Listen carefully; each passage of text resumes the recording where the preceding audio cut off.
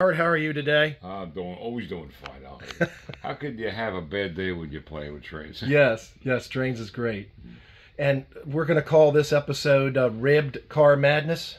Well, ribbed is also outside frame and also single sheath. There's several names for these box cars. All right, and these these are all cars you made in the What If series. What if series, yeah.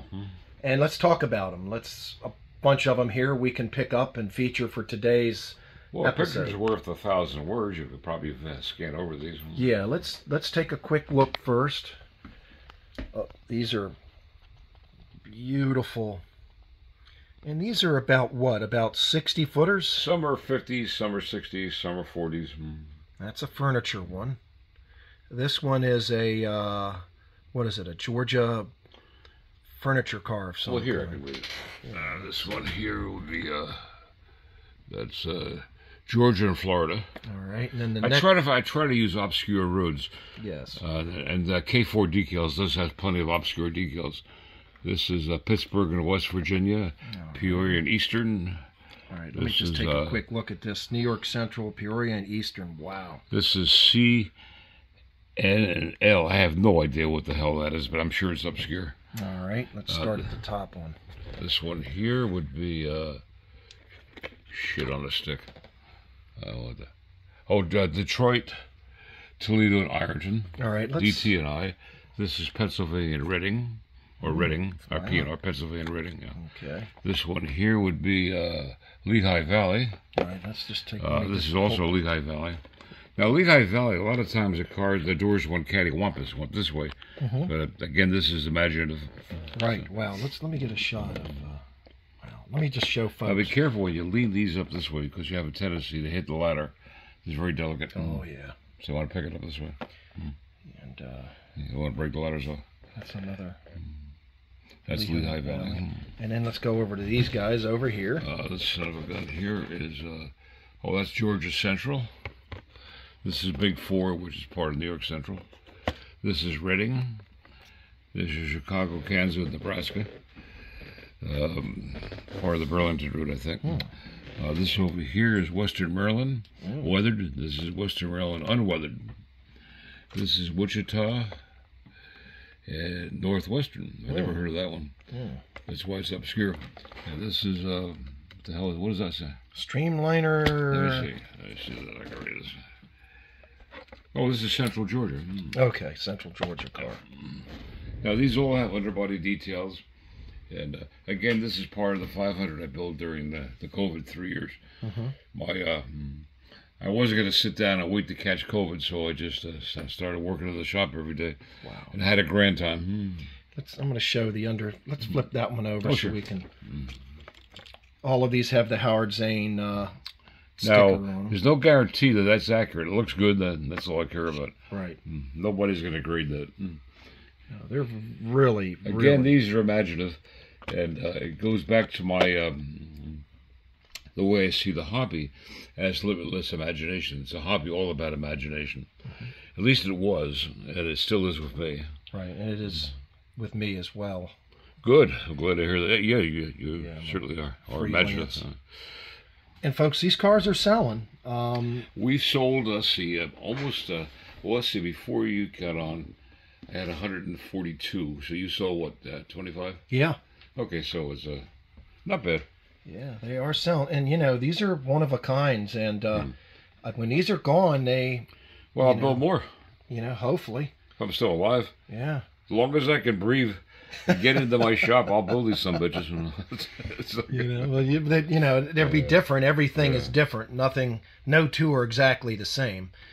Uh, no, no. I've And never, never, ever, ever built two cars the same. Right. They might be close, but not the same. Right. There'll be some little details different. Let's just pan, and we're going to feature these cars uh, every week on the channel, but there's still a good selection. Of, Well, the thing we should talk about that these cars. Now, I've built uh, Sunshine cars and kits. Mm-hmm. I built Westerfield cars. I built uh, Funaro and Camerlengo. Mhm. And uh, the better you build them, the more it looks like a plastic car. Hmm.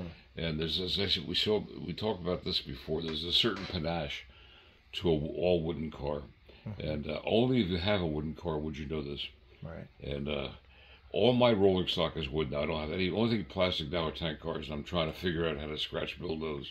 And when I do, I've got about 100 tank cars I'm going to give away hmm, or sell at a reasonable price. I haven't quite figured that out yet. I'm gonna How to grab- do it. Just uh, you know, we're talking about the panache of a wood car, and all these are wood. Oh yeah, all wood, all weathered with pastels. Now that I use uh, pastel. Oopsie. Way to go, Al. Oh, buy that sucker, catch it before it fell to You, the you floor. be doing push-ups from here to the Yeah, moon. oh yeah, mowing the lawn and raking the leaves. Now push-ups are fun. Yeah. Wow, Howard. Yeah, these are.